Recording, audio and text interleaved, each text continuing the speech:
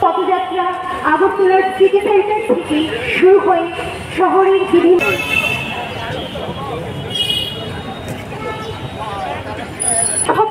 দাবিগুলোকে সমর্থন করবেন এবং এই ধারা অনুযায়ী বিজ্ঞান মনস্কতার প্র- প্রসার। এই পদযাত্রা আগরতলার সিটি সেন্টার শুরু হয়ে শহরের বিভিন্ন পথ পরিক্রমা করে রবীন্দ্র শতবার্ষিকী। ঝাড়ফুঁক, কালাজাদু, ডাইনি অপবাদে হত্যা ইত্যাদি বন্ধের আজকে বিজ্ঞানের জন্য পদযাত্রা।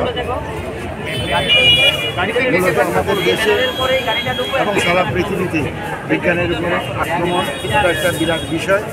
বিজ্ঞান মানসিকতার উপর আক্রমণ এবং আমাদের স্কুলের সিলেবাস এবং বিভিন্নভাবে যে ইন্ডিয়ান নলেজ সিস্টেমের নামে অপবিজ্ঞান চর্চা, এসবের বিরুদ্ধে, পরিবেশ নষ্ট করার বিরুদ্ধে সারা দেশেই আজকে পদযাত্রা হচ্ছে।